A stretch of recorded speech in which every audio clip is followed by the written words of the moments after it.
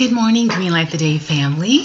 I'm glad to be with you here again. I have been reading uh, this book by Tama Kieves, A Year Without Fear. Um, I had mentioned it before, and there's just so many good things um, that are in this book that I just really, really want to share. So let me hurry up and get started here. Um, and this all has to do about um, transition, right? How we transition in our lives and what's going on. Because it could be an intimidating, scary process. And sometimes I think we get stuck on the ledge and we just don't want to go any further, right? So here's a passage, and it says If you're in transition, honor this sacred passage in your life.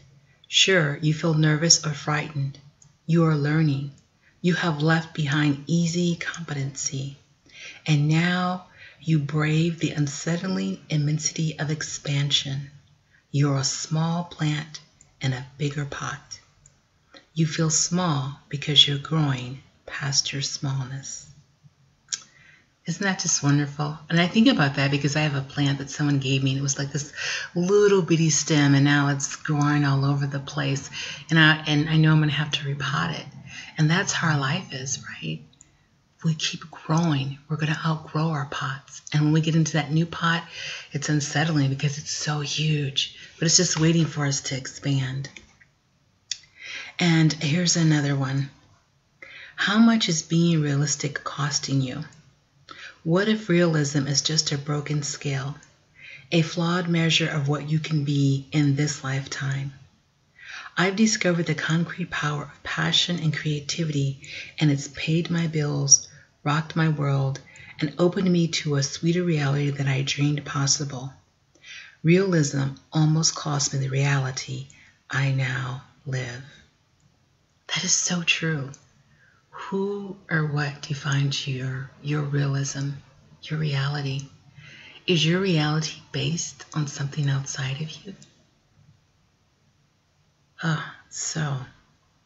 And I and I like creating. I like being an artist. And I often wondered what would life be be like if that was how I supported myself.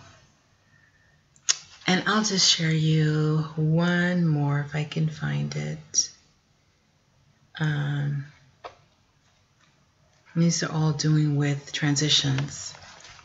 And here's one that I'm still trying to kind of wrap my mind around. And it says, Today, lower your expectations of yourself.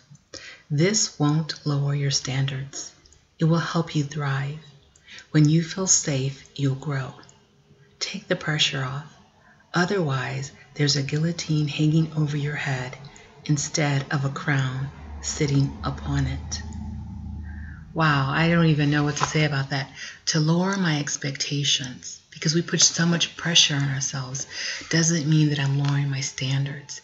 It may allow me a creative way to achieve my standards. It may help to clarify my standards. But you can't know that or see that when there's so much pressure on yourself. Well, I hope one of those three little passages have stuck a chord in your heart and you play it all day long. Anyway, have a great day. Talk to you later. Bye.